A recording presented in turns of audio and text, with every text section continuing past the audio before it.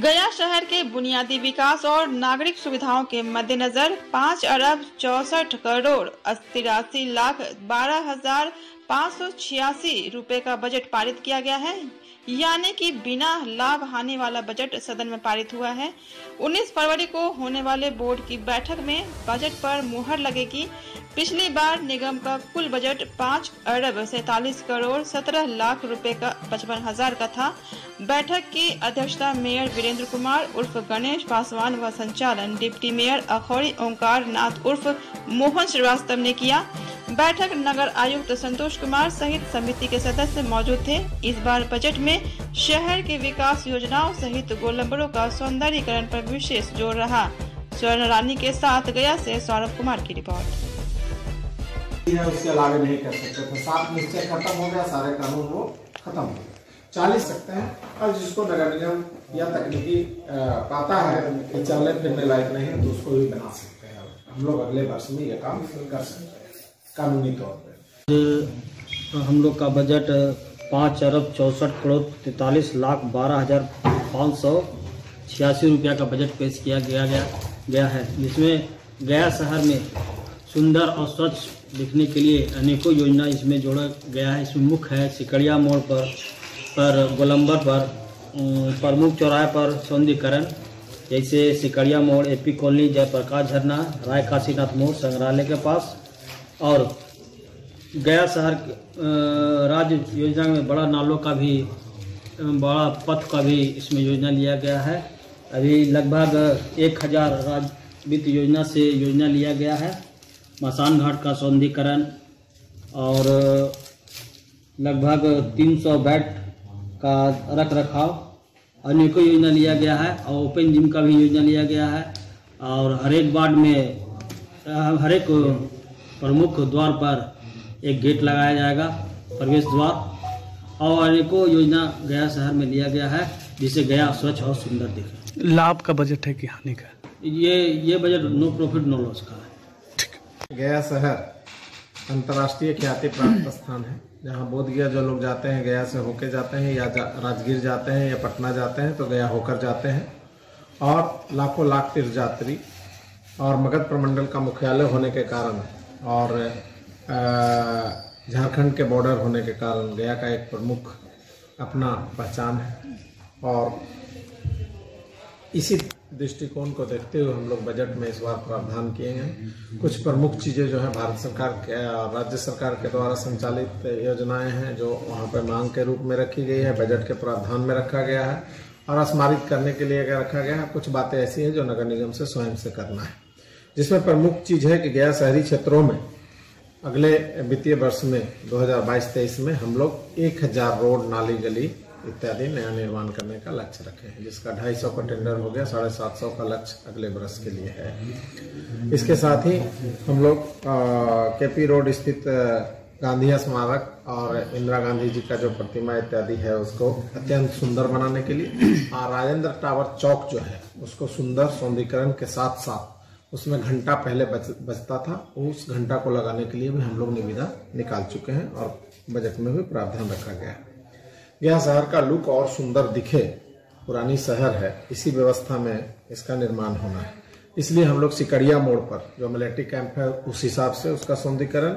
AP colony स्थित jail superintendent के आवास के सामने में जयप्रकाश झरना राय काशीनाथ मोड़ संभरणालय के गोलंबर को खूबसूरत चूँकि गया का पहचान और बोध गया का पहचान भगवान बुद्ध भगवान विष्णु से जुड़ा हुआ है, इसलिए शंख चक्र के साथ साथ हम लोग टिपल पत्ता का भी वहाँ पर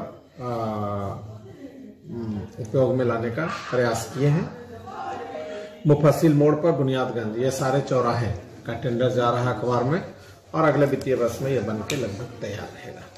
गया शहर के आम लोगों के सुरक्षा, सुविधा के लिए 125 जगहों पर टॉयलेट और लगातार इसका तीनों टाइम रख रखाव का व्यवस्था रखी गई। विष्णुपात स्मशान घाट का सौंदर्यकरण एवं उसका रख रखाव अगले पाँच सालों के लिए प्रस्तावित है।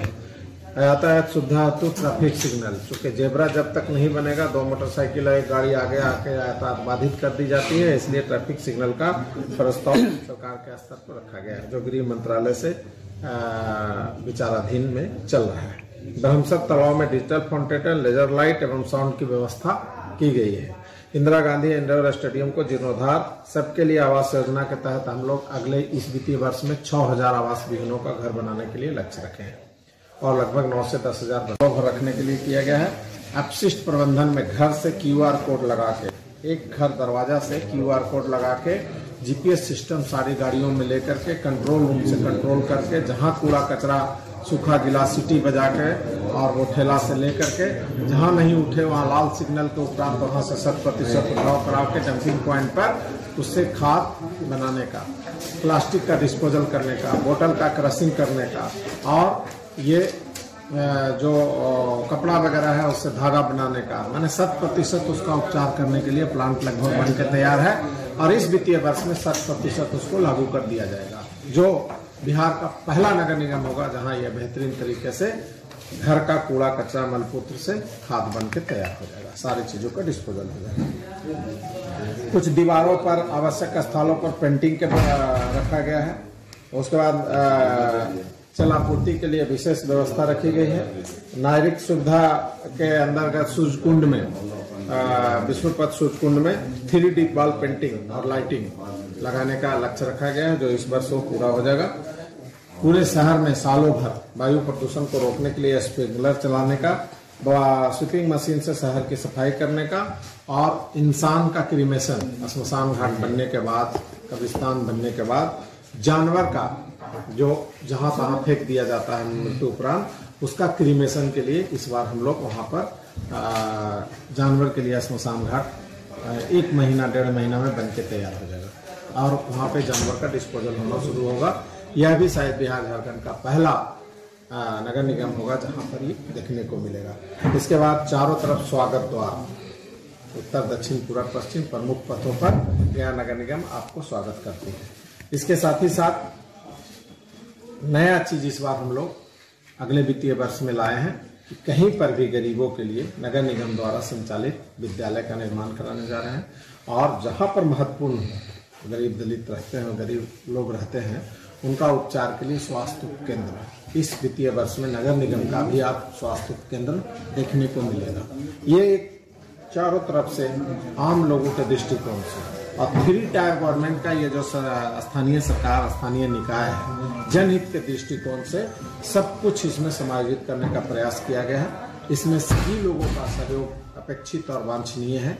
शहर को विशेष अभियान हम लोग पंद्रह दिन का चलाने जा रहे हैं, जिसमें पूरे शहर के गली से प्रमुख पथों को झकाझक चकाचक रखेंगे और उसी तरह आम लोग उसमें सहयोग करेंगे।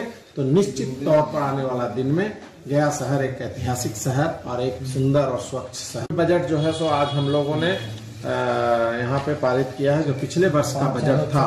वो बजट पाँच अरब सैतालीस करोड़ सत्रह लाख रुपए का था 2021-22 का। 2022-23 का बजट जो है सो चार अरब चौसठ करोड़ तेरासी लाख बारह हज़ार पाँच सौ छियासी रुपये का रखा गया है।